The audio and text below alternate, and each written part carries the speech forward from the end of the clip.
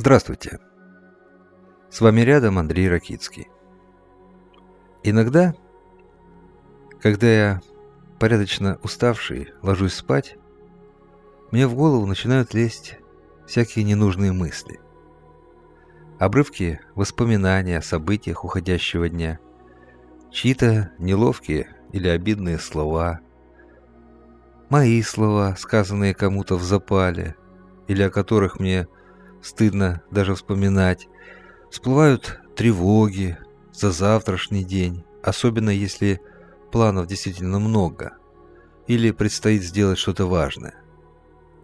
Я начинаю обо всем этом думать, соскальзывая с одной темы на другую, и не могу вырваться из череды бесконечных повторов и возвращений к тому, что уже, казалось бы, решил. От этого сон улетучивается, и появляется какая-то нервозность. Я начинаю злиться на себя, пытаюсь себя уговорить. Ну, что ты так разошелся? Все же, в принципе, нормально. Но эти слова в такие моменты не значат ровным счетом ничего. Они просто не действуют. От них начинаешь только еще больше нервничать, заводиться. Потом я ловлю себя на мысли, что уже очень поздно. И время от времени ищу глазами светящиеся в темноте циферки часов. Время, естественно, бежит вперед, и от этого я окончательно выхожу из себя. Ну вот, опять не высплюсь. А завтра такой напряженный день. Столько всего нужно сделать. И возникает обида на себя. Но почему все люди, как люди, уже давно спят и видят десятый сон, а я только распаляюсь все больше и больше? Почему я никак не могу отключиться от своих забот и проблем? Потом биоритмы организма начинают одерживать победу над мятежным сознанием. И я потихонечку засыпаю. При этом ловлю себя на мысли «ну, наконец-таки». И от этого резко просыпаюсь. Борьба с самим собой вспыхивает с новой силой. Я уже давно отключился от тех проблем, с которых все начиналось, и просто заставляю себя заснуть. Обижаюсь на себя, уговариваю, запугиваю. Потом снова потихонечку начинаю проваливаться в сон. Снова радуюсь этому и снова от этой мысли просыпаюсь. Часа через два голова начинает гудеть, требуя покоя и сна, а я продолжаю крутиться с боку на бок. Иногда эта битва за сон заканчивается приемом снотворного. Я не люблю таблетки, и вы знаете об этом. Но, когда ситуация заходит слишком далеко, выбора не остается. И как следствие такого компромисса, утром головная боль и отсутствие чувства отдыха – но так было раньше. Теперь я знаю, как победить тревогу уходящего дня. И спокойно заснуть. Как перестать волноваться перед днем завтрашним. Вообще-то для этого существует множество различных способов, но у меня есть свой, любимый. И если вы еще не спите, то давайте попробуем успокоиться и заснуть вместе. Для начала закроем глаза. А теперь давайте попробуем вспомнить уходящий день. Пусть весь наш день еще раз пройдет перед внутренним взором. Давайте оценим общее впечатление от этого дня. Поставим ему пятерку – если он был очень удачный. Если просто хороший, то четверку. тройку – нейтральному, двойку – не очень хорошему, ну и, естественно, единицу – совсем уж плохому. Обычно, когда я это делаю, я мысленно перебираю события уходящего дня и осадок от какой-то конкретной, может быть, единственной напряженной ситуации начинает рассеиваться, растворяться в моих воспоминаниях. Помимо плохого, вспоминаются и хорошие моменты.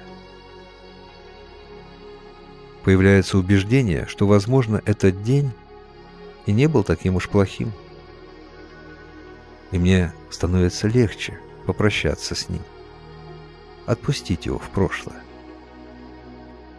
Я заметил, что когда я отпускаю уходящий день с приятными мыслями, мой сон всегда бывает более глубоким и полноценным. Оценивая день перед сном, я со временем сделал вывод, который примирил меня с собой. Оказалось, что в сущности мои дни вполне сносны, что они не такие уж и тревожные, и тяжелые, как могут показаться на первый взгляд. И вообще, в жизни не всегда все так, как кажется.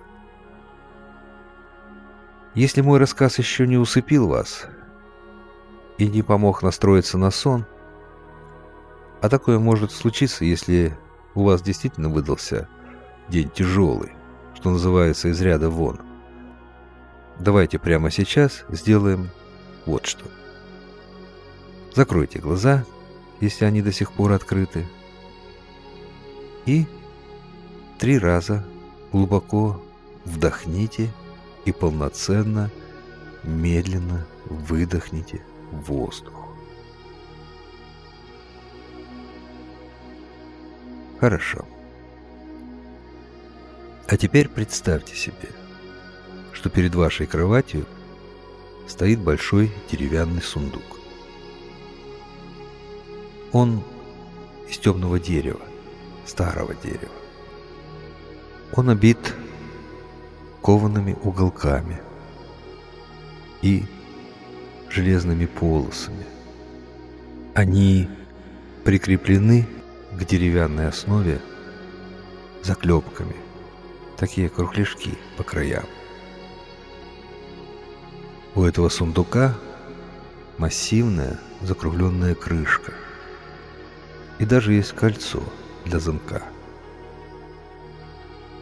Настоящий пиратский сундук для хранения кладов и сокровищ. Медленно откройте крышку и загляните внутрь. Сундук пуст. В нем чисто и сухо. От него приятно пахнет сухим деревом. Он какой-то очень надежный и основательный. Сам его вид успокаивает и вселяет ощущение уверенности и надежности. Начните складывать в этот сундук все, что вас давит. Например, волнение перед каким-то событием, которое должно произойти завтра.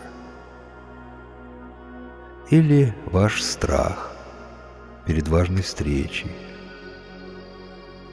Или страх забыть что-то нужное, необходимое. Или не справиться с чем-то очень значимым. Пусть все это будет спать сегодня отдельно от вас. В этом надежном сундуке для хранения кладов. Укладывайте в него все, что вас гнетет. когда вы проснетесь, вы сможете снова открыть эту крышку и вытащить все обратно. Этот сундук волшебный. Возможно, к утру ваших проблем станет меньше, и они окажутся легче. А может быть, их станет больше, и они будут тяжелее. Но пока вы будете спать, все они будут храниться в надежном месте. Вы будете спать без них. Вы сможете вернуться к ним завтра.